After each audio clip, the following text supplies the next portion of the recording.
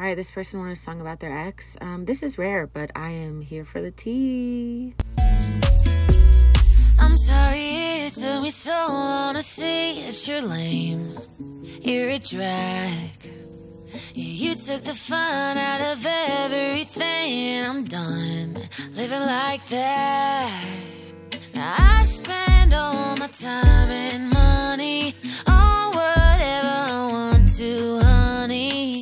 safe to say that I'm awesome, yeah, I've been blossoming. Now I can say it with confidence. I'm alright, found my groove in my prime. Now that I don't have you, watch me shine, watch me glow. Took some time, but now I know.